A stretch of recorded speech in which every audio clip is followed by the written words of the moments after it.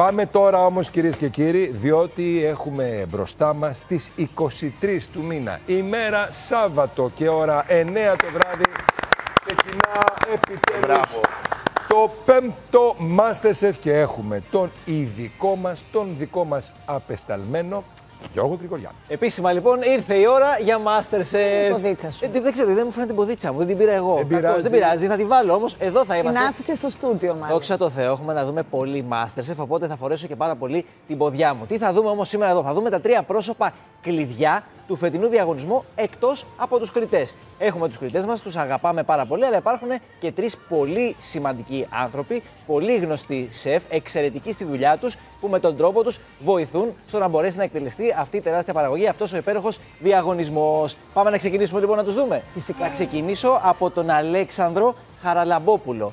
Γνωστός σεφ, πάρα πολύ καλός. Όπως βλέπετε, είναι ακριβώς στη μέση ο Αλέξανδρος Χαραλαμπόπουλος. Είναι ο food stylist του φετινού διαγωνισμού. Είναι αυτός ο άνθρωπος που μεταφέρει την εμπειρία του και τις γνώσεις τους στα παιδιά για να μπορέσουν να στείλουν πάρα πολύ όμορφα το πιάτο τους, με νέες ιδέες, να τους εμπνέει και να είναι έτσι έτοιμοι για τις δύσκολες δοκιμασίες οι οποίες έρχονται, πιστέψτε με, θα είναι πολύ δύσκολες. Οπότε θα τη χρειαστούν τη βοήθεια τα παιδιά πάρα μα πάρα Θα τους πολύ. κάνει μαθήματα δηλαδή. Βεβαίως, βεβαίως. Υπάρχουν κάποιες ώρες που τα παιδιά ασχολούνται με αυτό. Δηλαδή, βρίσκεται εκεί ο Αλέξανδρος Χαραλαμπόπουλος και τους δίνει κάποια tips, κάποιες οδηγίες Μαθαίνουν να στείλουν τα να στήσουν πιάτα. τα πιάτα τους. Έτσι, γιατί ένα πιάτο δεν αρκεί μόνο να έχει πάρα πολύ καλή γεύση, πρέπει να είναι και πολύ όμορφο. Ο Τον Αλέξανδρος- έχουμε ξαναδεί δηλαδή στον. Βεβαίως, ε, βεβαίως έχει Αλέξανδρο. περάσει πάρα πολλές φορές ως guest. Με τα πιάτο και σε πιάτο αντιγραφής και Α, σε μάλιστα. δοκιμασίε.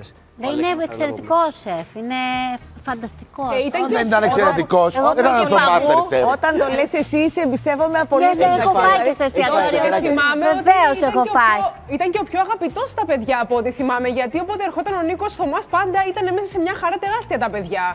Ε, για- Έχει λες, καλή μου σχέση. δίνει πάσα ουσιαστικά για τον Νίκο Θωμά τώρα, γιατί λέγαμε πριν για τον Αλέξανδρο Χαραλαμπόπουλο. συγγνώμη, με Πάμε στον συγχωρείτε. Νίκο το Θωμά. Όντω, Ε, είναι που είσαι μακριά γι' αυτό. ναι, πολύ αγαπημένος, Επίσης. πολύ αγαπημένος και των παιδιών και δικός μας αγαπημένος είναι ο food beverage, ε, ο food beverage FSB. manager, έτσι. Ο οποίος τι κάνει ακριβώς για να Αυτή τη εξηγήσουμε. θέση μου την είχε ο Λεωνίδας Κουτσόπουλος, να πούμε κάπου. Ακριβώς. Είναι πίσω από τις κάμερες. Είναι ο άνθρωπος ο οποίος επινοεί τα πιάτα των δοκιμασιών στο Masterchef.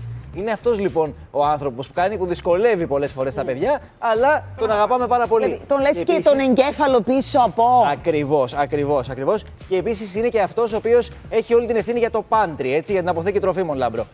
Α, τέλεια. Εγώ είδα τώρα τον Αλέξανδρο εδώ πέρα, ο οποίος είναι ένας εξαιρετικός σεφ και ε, μ, το συμπαθώ πάρα πολύ και σαν άνθρωπο και είναι πολύ καλός ε, μάγειρας και νομίζω θα δώσει πάρα πολύ ε, στο παιχνίδι. Έχει πάρα πολύ ωραία αισθητική.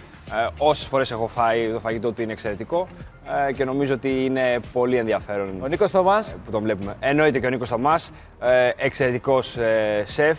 Νομίζω είναι χαμηλών τόνων και κάνει τη δουλειά του έτσι όπως πρέπει πάρα πολύ καλά και το έχει δείξει Σαν και, και εσένα. στα προηγούμενα ε, παιχνίδια. Οπότε ο Γιάννης εντάξει, εννοείται, τον ξέρουμε όλα αυτά τα χρόνια. Πάμε λοιπόν και στο Γιάννη Αποστολάκη, τον οποίο τον είχαμε αναφέρει. Είχαμε συζητήσει εδώ. Ε, βέβαια. Ένας άνθρωπος που όχι μόνο είναι πολύ καλός σεφ, είναι ένας άνθρωπος ο οποίος έχει περάσει από το διαγωνισμό και μπορεί να καταλάβει πώς ακριβώς νιώθουν τα παιδιά. Είναι λοιπόν αυτός ο άνθρωπος, ο μέντοράς τους, ο οποίος παίρνει τα παιδιά σε ένα έπαθλο αφού έχουν κερδίσει την ομαδική δοκιμασία και πλέον θα τα μεταφέρει σε χώρους οι οποίοι έχουν ελεγχθεί, είναι απόλυτα ελεγμένοι από την παραγωγή, λόγω του ότι βρισκόμαστε στην κατάσταση αυτή και όλοι πρέπει να προστατευτούμε από τον COVID-19. Περάσουν ωραία. Θα για περάσουν να ωραία. περάσουν ωραία, για να δοκιμάσουν Ε, να χαλαρώσουν λίγο, ρε παιδί μου, και όλα οι να άνθρωποι. δοκιμάσουν υπέροχες γεύσεις, να γνωρίσουν πολύ γνωστούς σεφ, οι οποίοι με τη σειρά τους θα τους διδάξουν και εκείνοι ό,τι ξέρουν για τη μαγειρική τέχνη, για να τους βοηθήσουν να είναι πολύ πιο δυνατοί στη συνέχεια του διαγωνισμού. Εξαιρετικό. Σάββατο λοιπόν ξεκινάμε με το Masterchef 23 Ιανουαρίου στις 9 το βράδυ και για αυτή τη βδομάδα θα παρακολουθήσετε Masterchef. Λέγε, Δευτέρα. όχι, περίμενε, περίμενε, περίμενε. Θα μας πεις ποιες μέρες θα. Βεβαίως, βεβαίως. Θα σας πω πότε θα παρακολουθείτε Masterchef, πότε θα παρακολουθείτε Masterchef Επιτέλους. αυτή την Γιατί εβδομάδα. Δεν το, ξέρω. το ξέρετε Όχι. εσείς. Δεν το ξέρω. Τώρα θα σας το πω εγώ, μην φοβάστε καθόλου. Πρεμιέρα λοιπόν, επαναλαμβάνω, το Σάββατο στις 9 το βράδυ. Δευτέρα, Τρίτη, Τετάρτη παρακολουθείτε ξανά Masterchef πάλι στις 9 το βράδυ για αυτή Wow, την πρώτη τέλεια. εβδομάδα προβολής. Δευτέρα, Τέλεια. Τρίτη, Τετάρτη, σε 9. Ακριβώς, Δευτέρα, Πέμπτη Τρίτη. έχουμε την πρεμιέρα του Έρωτας με διαφορά. Μην το ξεχνάτε, Φυσικά. έτσι, το σύριαλ μας. Φυσικά. Και θα επανέλθω με περισσότερες πληροφορίες στη συνέχεια. Δηλαδή θα είναι μια, μια εβδομάδα πρεμιέρας αυτή που έρχεται για το Star. Με πολύ πολύ αγαπημένα προγράμματα. Το Masterchef το περιμένουμε πώς και πώς όλοι. Και βεβαίως το ε, serial το καινούριο το οποίο επίσης έχει δημιουργήσει πολύ μεγάλη αναμονή στον κόσμο. Από το Σεπτέμβριο το συζητάμε και επιτέλους ξεκινάει. Και από την αρχή στα βάσανα, σας πω εγώ για τους διαγωνιζόμενους και θα το αφήσω εδώ. Ε, γιατί το λες αυτό Αναμένουμε δηλαδή. με, Γιατί με- έτσι θα είναι; με μεγάλη χαρά και με μεγάλη προσμονή. Καλή επιτυχία σε όλους.